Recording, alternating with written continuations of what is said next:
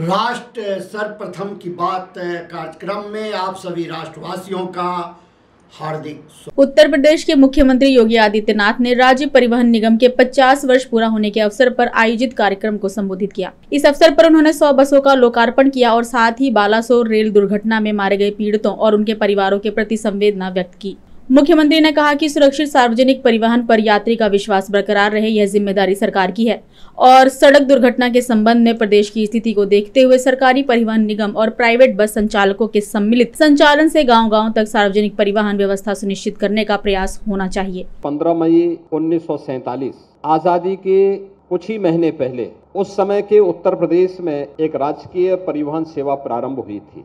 लोगों की सुगम यात्रा और सुरक्षित यात्रा के लिए। यही राजकीय परिवहन सेवा 1972 में 1 जून 1972 को उत्तर प्रदेश परिवहन निगम के रूप में आगे बढ़ी और देश की सबसे बड़ी आबादी के राज्य में पब्लिक ट्रांसपोर्ट की सबसे बड़ी इकाई के रूप में कार्य करते हुए आज 50 वर्ष की अपनी एक शानदार यात्रा को आगे बढ़ाते हुए लगातार कार्य कर रही है। इस अवसर पर परिवहन निगम को मैं हृदय से बधाई देता हूँ।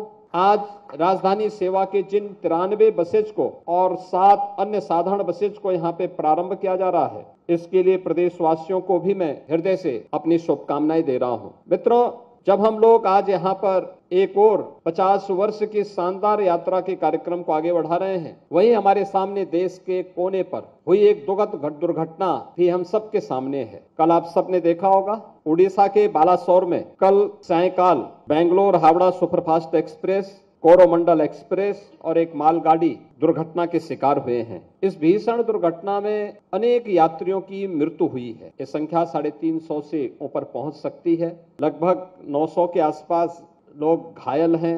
जिन लोगों ने अपने परिजनों को खोया है, उन सब के प्रति मैं उत्तर प्रदेश शासन की ओर से, उत्तर प्रदेश की जनता की ओर से अपनी संवेदना व्यक्त करता हूँ। जो लोग इस दुर्घटना में गंभीर रूप से घायल हुए हैं, उनके शीघ्र स्वस्थ होने की कामना भी करता हूँ। सुगम यात्रा और सुरक्षित यात्रा, ये हर नागरिक का अधिकार है।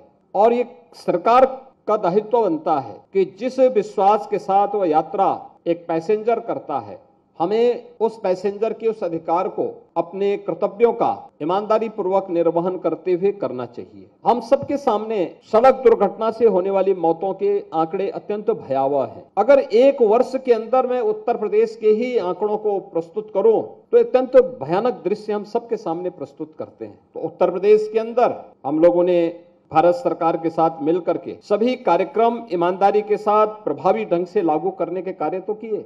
आज के इस अवसर पर परिवहन निगम जिन कार्यक्रमों को लेकर के चल रहा है, इसको और प्रभावी ढंग से आगे बढ़ाने की आवश्यकता है। हमारा प्रयास हो परिवहन निगम की बसेस से या उत्तर प्रदेश के अंदर पब्लिक ट्रांसपोर्ट की सेवा का उपयोग जो लोग भी करना चाहते हैं, हमें उन लोगों को उस प्रकार की सुविधा देनी होगी। और केवल इसे निगम के स्तर पर ही नहीं, बल्कि आवश्यकता पड़ती है प्राइवेट ऑपरेटर को भी एक रेगुलेशन के साथ जोड़ करके हर गाँव तक यातायात की सुविधा हमें उपलब्ध करानी पड़ेगी। बस की सेवा उपलब्ध करानी पड़ेगी। अगर हमारे गाँव तक ये सुविधा उपलब्ध कराएँगे तो लोगों के लिए आसान होगा।